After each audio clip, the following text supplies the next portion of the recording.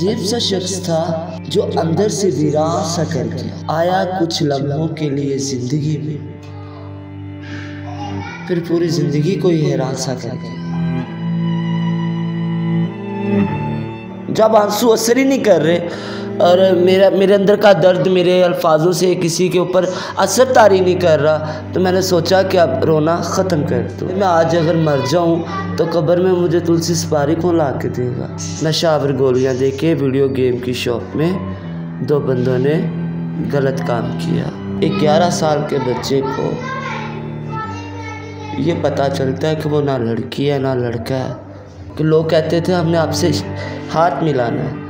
तो मैं आगे से ये कहा करती थी कि तेरे नाल हाथ मैं मिला मिलाना है। I am alone in my life मैं खूबसूरत थी तो क्या मुझे ये ये लानते मिल रही थी? अस्सलाम वालेकुम आप देख रहे हैं इमरान न्यूज़ और मैं हूँ तैयबा बाट आज एक नई स्टोरी के साथ आपके साथ हाजिर है। मेरे साथ ये जो आपको बैठी नज़र आ रही हैं इनका नाम तुलसी भट्ट है और ये ट्रांसजेंडर हैं। आज हम इनकी कहानी इन्हीं की ज़ुबानी जानेंगे और इनसे बात करते हैं। अस्सलाम वालेकुम। वालेकुम सलाम। मुझे सबसे पहले तो बताएँ कैसी तबीयत है? आप कौन सा एंबुलेंस लेके आए हो? मैं ठीक अच्छा। अलहमदिल्ला पता क्या रो रो के तंग आ गई हूँ ना। तो मतलब पचास के करीब करीब इंटरव्यूज़ हो गए और अब इतना रो बहुत रो लिया जब आँसू असर ही नहीं कर रहे और मेरा मेरे अंदर का दर्द मेरे अल्फाजों से किसी के ऊपर असर तारी नहीं कर रहा। तो मैंने सोचा कि अब रोना ख़त्म कर दूँ। शायद मैं मुस्कुराऊँ एक्टिविटी के साथ। एक्टिव होके अल्लाह रब्बुल इज़्ज़त के जो भी अता कर रहे हैं वो उसके साथ एग्री हूँ तो शायद लोग ज़्यादा खुश होंगे। बहुत खुश हूँ मैं अल्हम्दुलिल्लाह। अच्छा तुलसी भट्ट कौन थी? और तुलसी का नाम आपके साथ आपके आपको ये नाम किसने दिया Tulsi?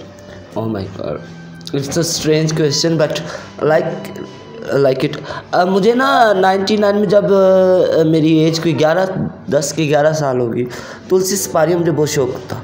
तो तब मेरी ये सोच होती थी, हाय मैं आज हाँ कि हाय मैं आज अगर मर जाऊँ तो कब्र में मुझे तुलसी सपारी कौन ला के देगा? बच्चा है ना तो बच्चे की सोच है। तो इतना इश्क था मुझे तुलसी से। जहाँ भी जाना means Tulsi Tulsi सपारी with me यार भी वेट कितने भी जा रही तो जो भी मुझे देखता था, कहता, यार, ये बच्चा तो तुलसी बहुत खाता है। लोगों को ये था कि मैं लड़का हूँ तो ये बच्चा बहुत तुलसी खाता है अभी। तो मुझे इसी दौरान ड्रामे का ऑफ़र आ गया तो उन्होंने फ्लैक्स बनाना था, कहते नाम ऊपर क्या लिखे? जो डायरेक्टर था ना, वो कहता बच्चा क्यूट भी इतना है, प्यारा भी इतना है। तो इसका नाम तुलसी। मुझे क्या पता तुलसी तालसी क्या होता है। मैंने परफॉर्मेंस के वो ड्रामा हिट हुआ। न्यूज़ एंकर आया एक, और वो जो अखबार में था। वो इंटरव्यू के लिए आया, वो कहता, जी इंटरव्यू हमने आपका जो है ना, अखबार पे वायरल करना वायरल करते हैं रिलीज़ करते हैं, क्या करते हैं, मुझे नहीं पता। तो नाम क्या आपका? मैंने कहा, जी, मेरा नाम तो अभी तो तुलसी तुलसी कह रहे हैं। कॉस्ट क्या मैं कहा, जी, हम बरदरी से ताल्लुक़ है, कश्मीरी हैं। तो उन्होंने तुलसी बट लिख दिया। वहाँ से तुलसी बट का बर्बादी का सफ़र शुरू हो गया। वो सफ़र क्या था? थोड़ा सा हमारे साथ शेयर करें। बहुत ख़तरनाक, गंदा, गुनाहों से भरा। शौक़ था हाफज बनने का, कुरान हाफज बनने का, कुरान हिफज करने का, कुरान पढ़ा, हिफज नहीं करने का मौका मिला। दिसंबर लास्ट दिसंबर जब आया था रमज़ान का महीना, तब तो पैदा भी नहीं हुआ। आपको पता है, बीस इक्कीस साल पहले आखिरी दिसंबर में रमज़ान आया था। अब गर्मियों में आता है ना, तब दिसंबर में आखिरी बार है। तो ये आखिरी दिसंबर के महीने में मेरे साथ 99 की बात है। आई होप सो नशावर गोलियाँ दे के वीडियो गेम की शॉप में, दो बंदों ने गलत काम किया।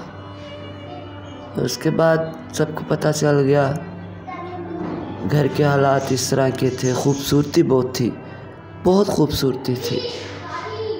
तो जिसके पास भी जाना, कहना आई नीड यू हार तो उन्होंने आगे से कहना, तू हुसैन है। हुसैन पीक माँगता चंगा लगता नुक्कर चा। वो दो चार बंदों ने नुक्कर में आने का कहा। तो मैंने कहा, सर नुक्कर में क्या है? नुक्कर में जाती हूँ तो पैसे मिलते हैं। ये नहीं कि ये गलत कार्य के लिए लेके जा रहे ये किस नुक्कर में क्या है? तो फिर एक वक्त है मैंने लोगों को ये कहा कि मदद नहीं नुक्कर में आओ।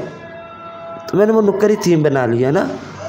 लेकिन मुझे नहीं पता था कि उस नुक्कर में मैं जा तो रही हूँ लेकिन शायद उस नुक्कर के किसी नुक्कर में अपनी ज़िंदगी को भी छोड़ के आ रही अच्छा तुलसी आपको कैसे पता चला कि आप कब किस एज में पता चला कि आप शीमेल हैं? और फिर जब पता चला तो क्या सोचती थी आप? क्या एक्सप्रेशन जज्बात क्या थे? इमोशंस क्या थे? मुझे पहले था मैं लड़का हूँ। छोटे छोटे बाल पैंट पहनना टी शर्ट जैसे बच्चे होते हैं, दोस्तों के साथ खेलना, लड़कों को मारना, लड़का लड़का मीन्स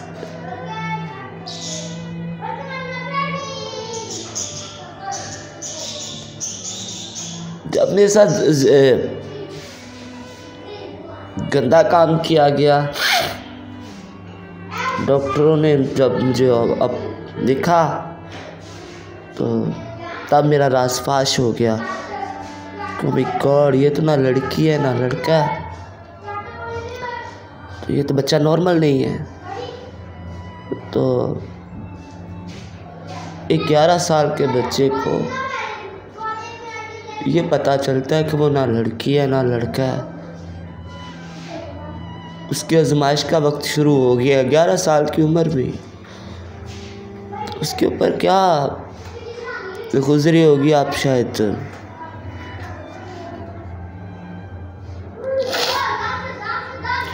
अच्छा तुमसे इस दलदल में कैसे धंसती गई आप? किस तरह से उसमें फंसती चली गई? और कोई ऐसा दोस्त नहीं मिला, कोई ऐसा रिलेशन नहीं था कि जो आपको बचा सकता, उससे निकाल सकता उससे, और फिर इससे ख़ुद को खुद ही निकाला है?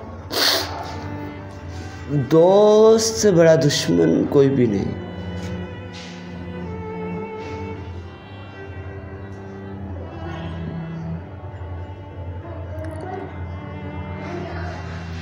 बस। muashra society is big skill for you in your life, for me, for in my life सब कुछ सिखाता है। हाँ एक वक्त था, मुझे याद है। लाई ला ला मोहम्मद रसूल अल्लाह एक वक्त था, कलमा पढ़ के कह रही हूँ कि लोग कहते थे, हमने आपसे हाथ मिलाना है। तो मैं आगे से ये कहा करती थी कि तेरे नाल हाथ मैं मिलाना है। अगे हो। ये आलम था तकबर का। ये आलम था अपने हुसन का। ये आलम था एटीट्यूड का। तो एक वक्त फिर वो आया कि वो जो हाथ मिलाने के लिए मैं कहती थी ना कि तेरे नाल हाथ मैं मिलाना वो हाथ मैंने ऐसे किया लोगों के आगे कि एक दस पाँच रुपये थे। जो हो, उसे कबूल करो। हँसी खुशी से एक्सेप्ट करो। ये दुनिया में सारा कुछ रह जाना है। एक लड़का आया मेरी लाइफ में। मैंने मैंने भी प्यार किया। हाँ उसके पाँव धोने, उसको परफ्यूम लगाना, उसके उसके आने का इंतज़ार करना। वो कब आएगा, कब हम खाना खाएँगे? कॉल सेंटर पे जॉब करता था, ग्यारह बजे से छुट्टी होती थी, मुझे आज भी याद है। तो जैसे ही ग्यारह बजते थे तो मेरी आँखें क्लॉक की तरफ़ चली जाती थी और उंगलियाँ मैसेज पे। ग्यारह बज के एक मिनट हो गया, ग्यारह बज के दो मिनट हो गए, ग्यारह बज के तीन मिनट हो गए। जब तक उसने छुट्टी करके घर नहीं आ जाना ना, तब तक मिनट सेकंड गिनते रहना। तो वो आगे सच्चे यार, मैं आ रहा हूँ, मैं आ रहा हूँ। और आज उसे भी गए हुए सात साल हो गए। अब तो गिनती भूल गई। वो तब इसलिए मेरे साथ था, क्योंकि तब मेरे पास सब कुछ था। आज मेरे पास सिर्फ़ एक साया और ये टूटी फूटी सी मंजी है और ये ये मेरे पास है। तो अब मैं तो एक खंडर हूँ। एक गुजरे हुए कल की एक छवि हूँ, एक परछाई हूँ, एक अक्स हूँ। अब मेरे पास कौन है वो कौन सा लम्हा है जिसको याद करके आज भी आपकी आप कह लें कि रूह काँप जाती है जो समझती हैं कि नहीं होना चाहिए था? जब मेरे साथ नशा दे के गंदा काम किया गया।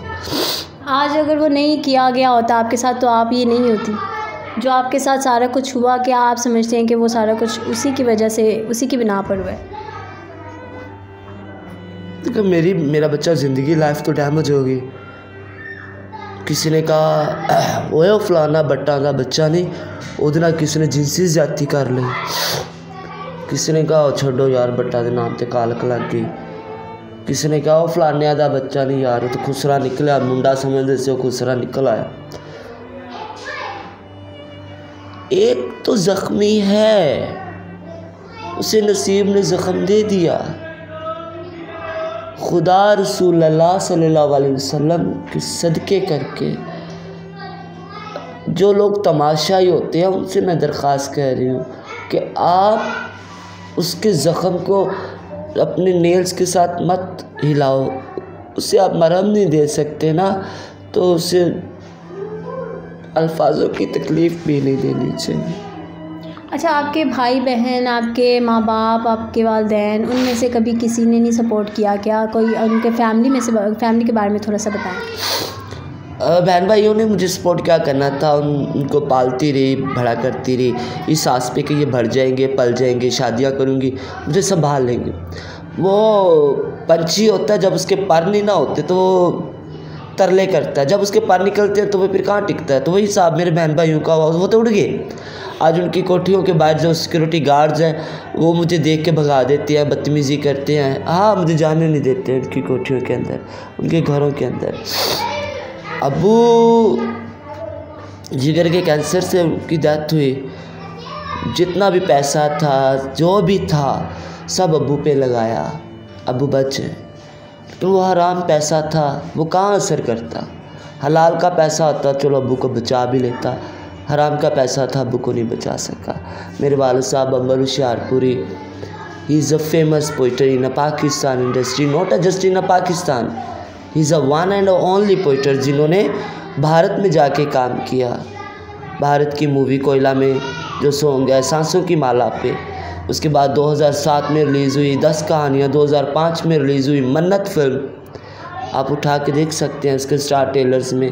अंबर शाहपुरी का नाम मिलेगा। पाकिस्तान में आए तो मेरी तोबा तोबा, चिड़ियाँ बोल दियाँ, यारा को यार अच्छा लग पे साथों नहीं जाना, बेकदरा सजना दमदम हुसैन, मौला हुसैन जाऊँगी बन के जोगन सरकार की गली में। ये जो हल्का हल्का सुरूर है, तेरे नाल प्यार हो गया।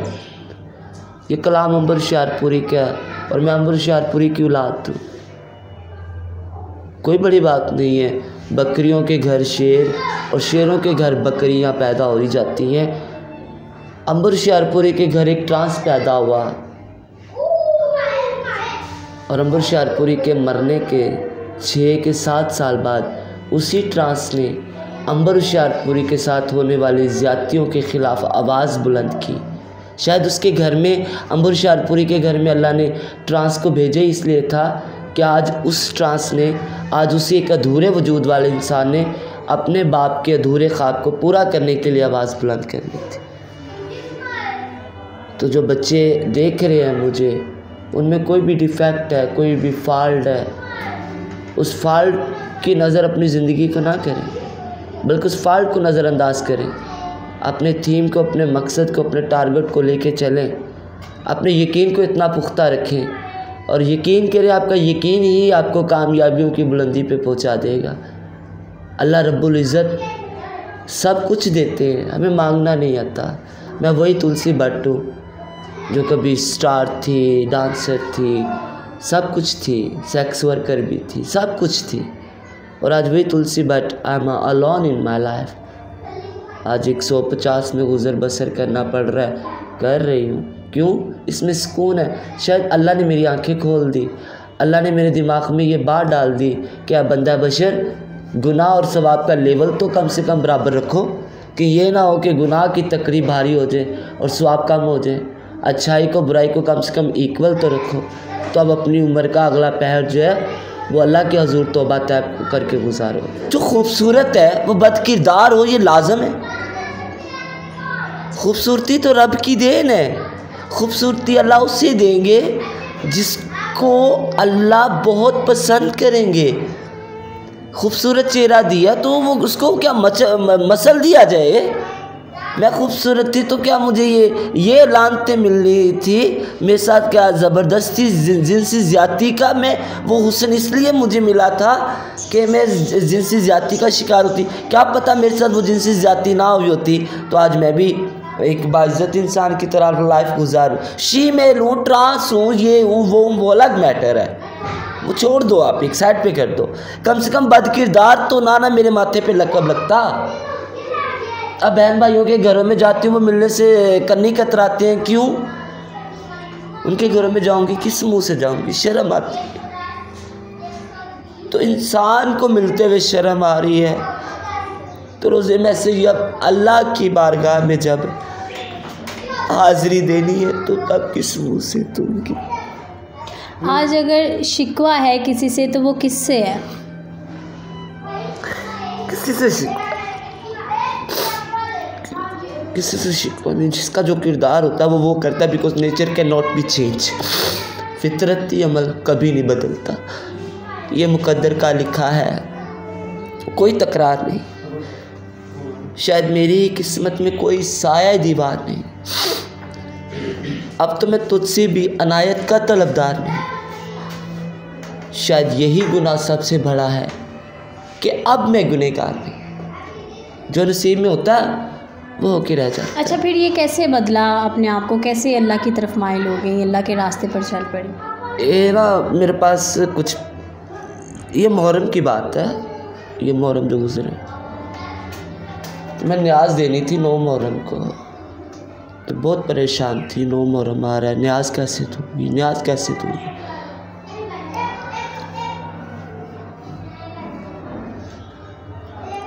रात को रोते रोते सोगी तो ख्वाब में देखा कि मैं ना समंदर के दरिया के किनारे पे हूँ। तो सुबह जब उठ के मैंने अपने इलाके के इमाम से पूछा कि ये ख्वाब का मतलब क्या है? तो उस इमाम साहब ने ये कहा कि तुम्हारा अल्लाह तुम्हारे कुछ गलत कामों से नाराज़ है। और अल्लाह के यहाँ तुम्हारे लिए बहुत सारा रिज्क है। बशर्त ये है कि तुम तोबा कर लो। अब हट जाओ। अल्लाह ये चाह रहे कि मैं तोबा कर लूँ। तो उसी वक्त मैंने अल्लाह के हजूर सजदा कर दिया और मैंने तोबा इख्तियार किया। अब अपनी अगली ज़िंदगी में जो भी हालात आ जाए हंस के और डट के सामना करूँगी लेकिन वापस उस गंदगी की तरफ़ नहीं जाऊँ। कोई ऐसा शख्स आपकी ज़िंदगी में जिसकी वो कुछ बातें ऐसी हैं जो अभी तक आपको याद आती हैं फिर रोती हैं सोच कर चुभती हैं दिल में? हो हो आपने तो पकड़ के सारा सब्जेक्ट ही चेंज कर दिया मेरा कसम से मज़ा आ रहा है। हाँ अजीब सा शख्स था जो अंदर से वीरान सा कर गया। आया कुछ लम्हों के लिए ज़िंदगी में, फिर पूरी ज़िंदगी को ही हैरान सा कर गया। एक शख्स आया था मेरी लाइफ में। बस जहाँ पे भी है, पता नहीं ज़िंदा है कि मर गया है। लेकिन वो आज जहाँ पे भी है आज भी उसके दामन के साथ मेरी बदुआ कहीं ना कहीं इतनी सी मेरी बदुआ ज़रूर चिपकी है। अच्छा ये मुझे बताएँ कि जो हमारे देखने वाले हैं जो आप जैसे बहुत से ऐसे लोग हैं उनको क्या पैगाम देना चाहेंगे? उनके लिए क्या नसीहत क्या करना चाहेंगे? चार दिन की ज़िंदगी है इतनी सी है। चार दिन की भी नहीं है मैं मानती हूँ क्योंकि अगले दिन का तो इलम ही नहीं है किसी की। ज़िंदगी एक लम्हे की है बस। तो शॉर्ट से ज़िंदगी में जब तक वजूद के अंदर साँसें हैं, इन सांसों का फ़ायदा उठाएँ। अल्लाह के हजूर झुक के अल्लाह की बारगाह में तोबा कर लें। अल्लाह माफ़ कर देते हैं, अल्लाह माफ़ करते हैं। पता नहीं किस किस कदम पे कौन सा सांस निकल जाएगा। तो वक्त से तोबा कर लें, ज़्यादा बेहतर है। गुर्बत की ज़िंदगी में बहुत सुकून है, इज़्ज़त की ज़िंदगी में बहुत मज़ा है। भाग दौड़ वाली हराम पैसे वाली ज़िंदगी में बर्बादियाँ मिलती हैं जो कि मुझे मिली। और मैं ये चाहती हूँ जो बर्बादियाँ मुझे मिली वो दोबारा किसी को ना मिले। एक आखिरी सवाल कोई ऐसा ख्वाब है जो अभी तक पूरा नहीं हुआ होगा? हाँ। कौन सा? वो शख्स जिसका ज़िक्र किया वो एक बार मेरे सामने आए बस। और उससे मैं ये पूछूँ कि बर्बाद तो पहले थी और बर्बाद करने की वजह जी तो ये थी मेरे साथ तुलसी भट्ट जिनकी कहानी आपने सुनी। इनके बहुत सारे ख्वाब, इनके जज्बात, इनके बहुत सारी फीलिंग्स को जो है मसल दिया गया और हालात कुछ और फिर कुछ लोगों के रवैयों ने इनको आज इस मकाम पर खड़ा किया था। उस दलदल में इनको दुसा दिया, लेकिन अल्लाह जिसको हिदायत दे देता है, फिर ये तुलसी भट्ट जैसे ही वो हो जाते हैं। फिर सारी इनकी अब जो लगन है, वो अल्लाह की तरफ़ ही है। होपफुली आपको हमारा ये वीडियो पसंद आया होगा। मुझे तो इजाज़त मिलेंगे एक नई वीडियो के साथ। अपना बहुत सारा ख्याल रखें। अल्लाह हाफ़